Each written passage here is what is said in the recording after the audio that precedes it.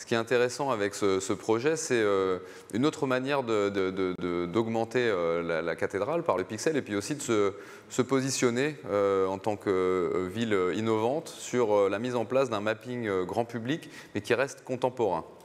On a l'habitude d'accueillir, de voir dans les villes des sons et lumières revisités.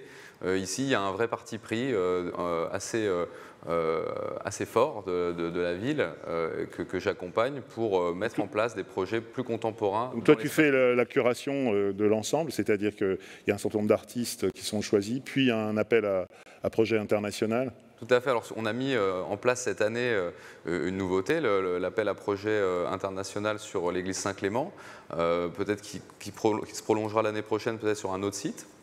L'enjeu, c'était de s'ouvrir à l'international. On sait comment fonctionne la municipalité en termes de production, la logique des marchés publics, etc.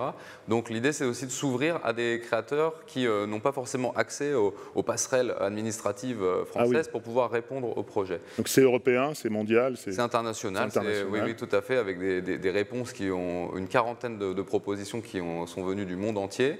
Euh, et, dont on a sélectionné 10 œuvres qui sont présentées sur la façade de l'église. Ce qu'il faut rappeler, c'est la thématique de, de cette année, la thématique de l'eau dans l'espace qui a guidé les artistes. Euh, une logique euh, autour de l'eau dans l'espace comme une ressource euh, à, préserver ici, et puis une source de fantasme. On retrouve bien le côté durable et créatif. Tout à fait. Et puis le positionnement de la ville et son rapport à l'eau qui est très important, la ah question du reflet, du mouvement. fleuve. Un fleuve qui traverse la, ville.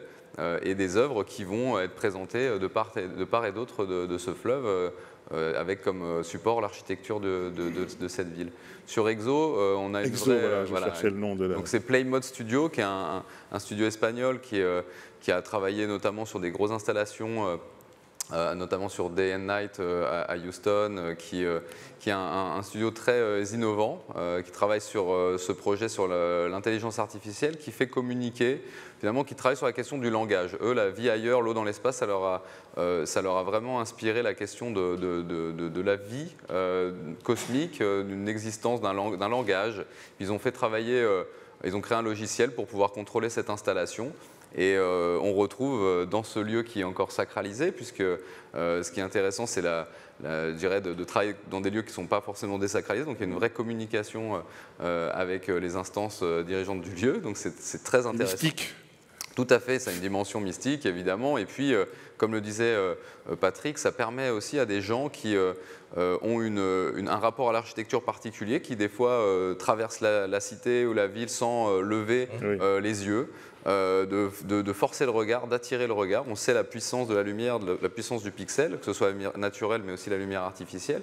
Et puis ici, on vient mettre un coup de projecteur euh, sur euh, l'architecture et on vient aussi forcer le public à rentrer dans ces lieux et à les découvrir autrement.